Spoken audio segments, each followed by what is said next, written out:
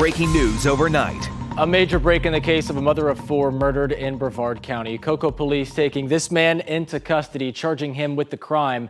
And in just hours, police are expected to release new details about what led to the arrest. Ezzy Castro is live outside Cocoa Police headquarters for us. And Ezzy, this suspect is no stranger to the victim.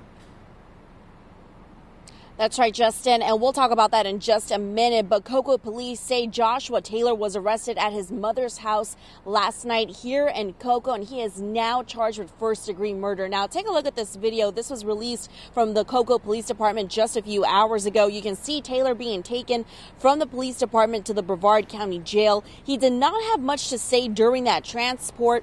Uh, his arrest comes just two weeks after Tashaun Jackson went missing, and right after Jackson's disappearance, her family held vigils and press conferences asking for help from the community for any information, saying it was not like her to just leave her four children like that. And all along, they believed her disappearance was suspicious and that a previous attempted rape case had something to do with it.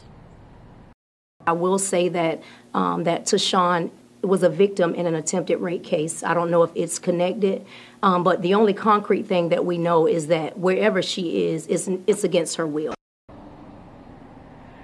And it turns out that Taylor was the man arrested in that attempted burglary rape case last year. And just over a week ago, investigators were at his home looking for leads after Jackson's body was found in Osceola County on February 15. And right now, Taylor is being held on no bond at the Brevard County Jail. And later on today at 10:30, there is a press conference expected here at the Cocoa Police Department where the chief will address the media and talk about the latest in this case. And we will have that information information for you later on here on News 6. But for now, live outside the Cocoa Police Department, Ezzy Castro getting results. News 6.